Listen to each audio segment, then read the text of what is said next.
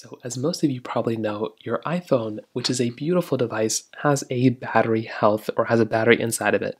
And the battery health is one of those things I see a lot of people talking about.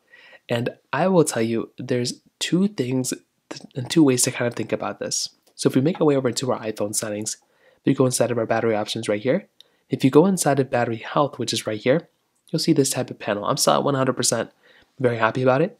But the thing is to keep in mind is that there's a few things that you can do to first, you know, fix your battery health if you're trying to get back to 100%, and two, to relieve your battery health in order to actually make sure that it doesn't go down at a, like a crazy high rate.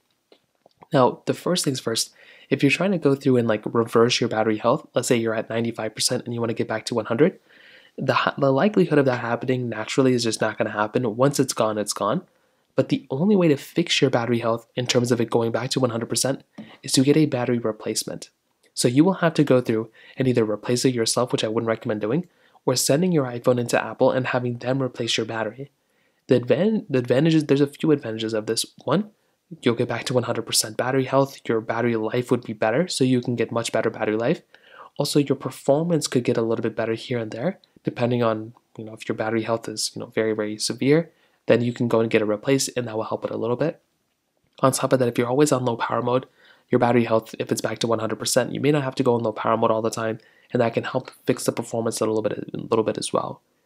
On top of that, though, let's say you do that, and let's say your problem isn't necessarily with the battery health, but you want to stop your battery health from going down at a crazy high rate. One of the best things you can do is to enable some of the battery features that Apple has given you or given you inside of your iPhone. So make your way back into your iPhone settings, scroll down into battery, which is right here.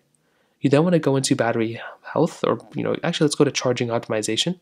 And you want to go and enable a few things. You want to go and either have optimized battery charging on or 80% limit. Now 80% limit you don't really need, but I would probably recommend just going through and enabling your optimized battery charging.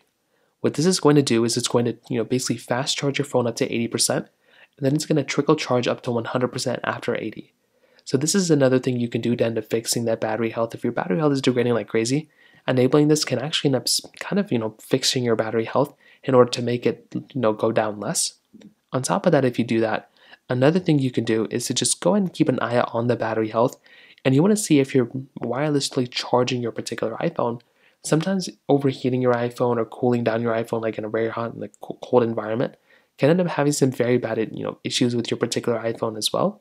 So you may just want to make sure that isn't a problem, and you may just want to make sure you're not overheating your iPhone and you're not putting your iPhone in really cold environments either. So, in terms of that, that kind of covers it up here. If you have any other thoughts or questions, let me know in the comment section below. Hit the like button, that would mean so much, but definitely hit that subscribe button. More importantly than everything else, I love every single one of you guys. Hopefully I'll catch you guys in the next video. Peace out.